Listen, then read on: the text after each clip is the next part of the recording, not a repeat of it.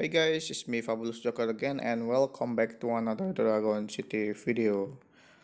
The Divine Pass Season 3 will end on Dragon City soon. It will end on 8 hours and it's your last chance to get the Ascended Ascended Cosmos Dragon and the new Ascended family will come to Dragon City soon on the Season 4 Divine Pass. The name is Ascended Oracle Dragon and this is a brand new Ascended Oracle Dragon.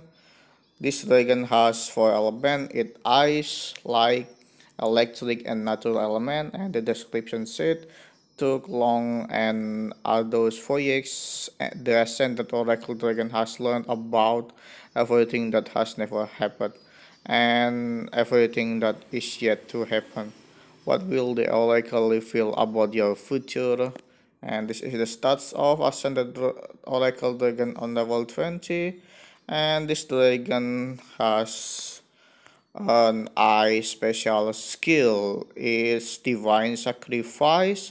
It can deal 2000 damage and the effect is damage all opponents and heals all allies but the user is hurt and it's the same as other ascended family dragon.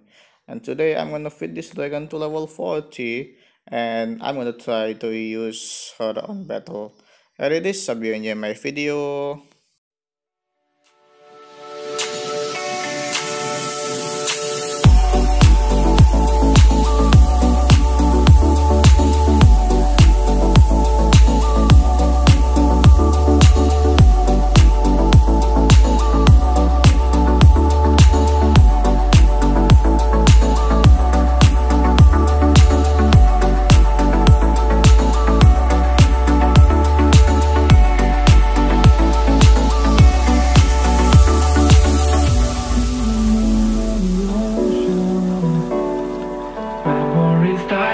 too hard But we were drowning.